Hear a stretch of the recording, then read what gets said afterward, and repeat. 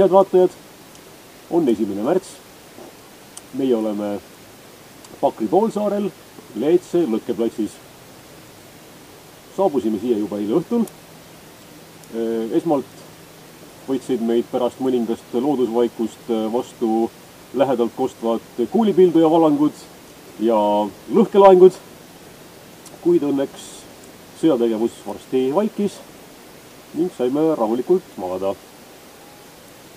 Öö oli mõnevõrra jahe. ma arvan, et väikeste miinuskraadidega siin on tegemist, ranna ääres on jääd näha.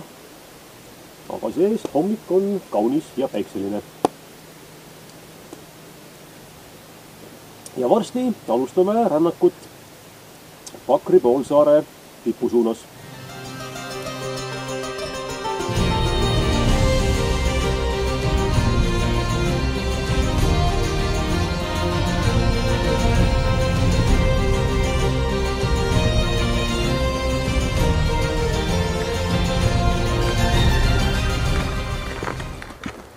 praegu liigume mööda Pakri poolsaare rannikut poolsaare tipu suunas.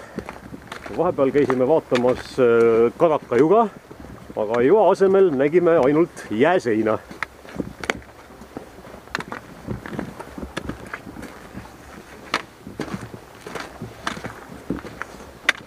ja siin meres on näha, oi, siinsamas on ka üks noor luik.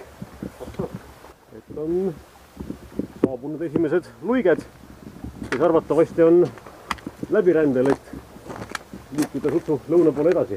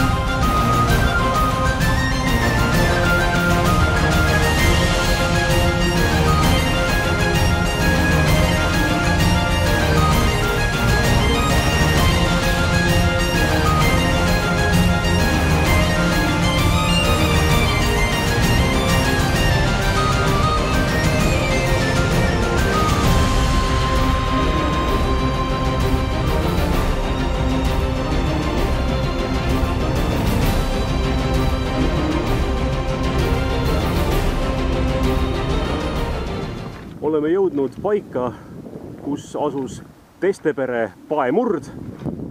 aga taamal poolsaare tipu suunas on juba näha tõeliselt kõrget astangut.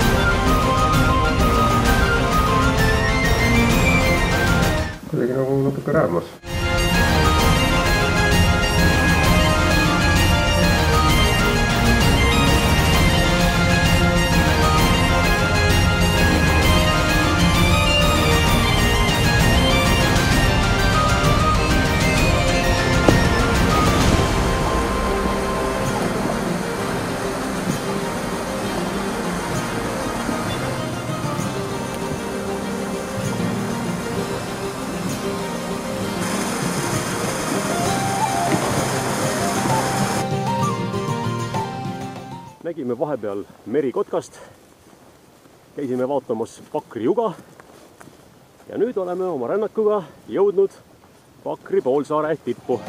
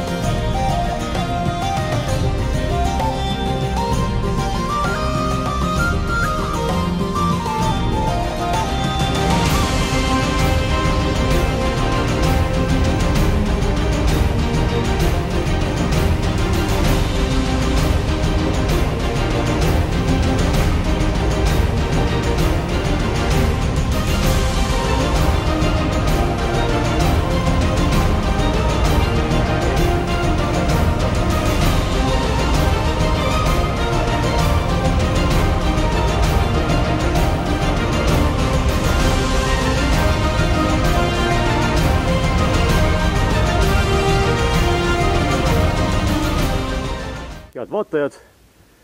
siin paigas on siis tõestus sellest, et Kalevipoeg oli äkkvihaga mees. nimelt, kui Kalevipoeg kunagi siinkandis eh, kõndis, ilmselt oli ta seal kusagil poolsaare teises servas ja nägi kauguses midagi suurt. pidas seda ilmselt äh, vanapaganaks või mõneks muuks hiidkasvu vaenlaseks. ilmselt ei olnud ta ka kõige kainemas olekus nagu tavaliselt ja hakkas tema kive loopima. ja massiliselt, püüdes tabada siis seda arvatata, arvatavat vaenlast. ägestus lausa nii palju, et loopis siia kokku sellise hunniku suuri kive. kuid tegelikult see, keda ta tabada püüdis, ei olnud hoopiski mitte vanapagan ega mõni muu vaenlane, vaid nagu siit näha, oli see hoopis sõbraliku Nõukogude armee tulejuhtimistorn. ja sellele ta paraku pihta ei saanud. ma tänan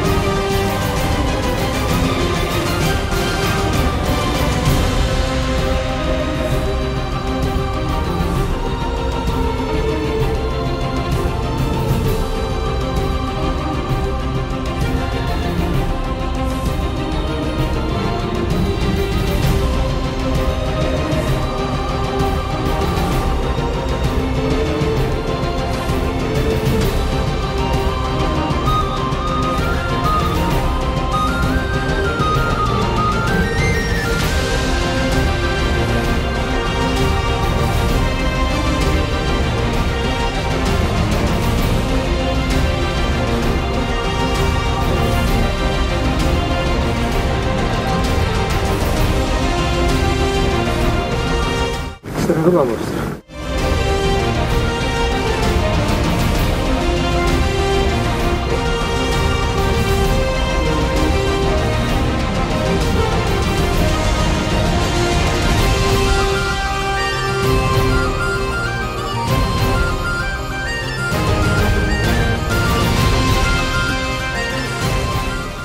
praegu liigume eh, tuulepargi vahel mööda vana raudteetammi ja kohe peaksime jõudma mingi suurtüki aluseni, kui niisugust asja siin üldse veel näha on.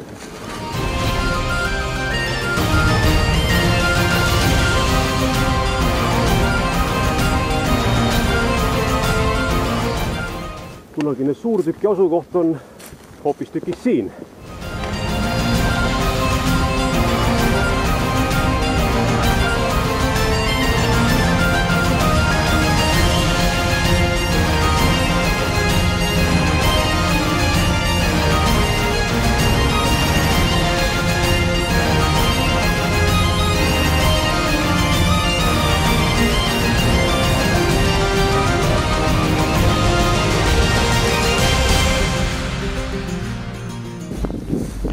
teispool seda kõrget müüri asub salapärane Paldiski tuumaobjekt, kus nüüd tegutseb mitte midagi ütleva nimetuse taha peituv aktsiaselts Alara. siis ohtlike jäätmete hoidmisega tegelev asutus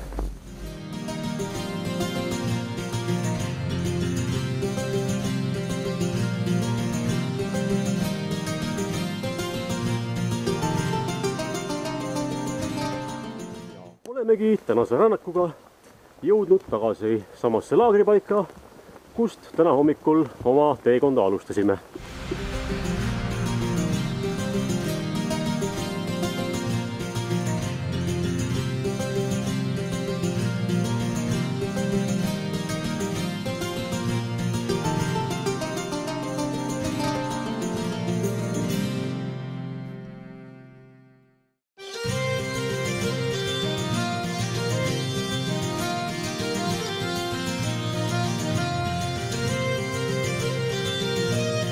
Vahepeal on kätte jõudnud pühapäev ja koos selle sellega saabus ootamatult ka talv.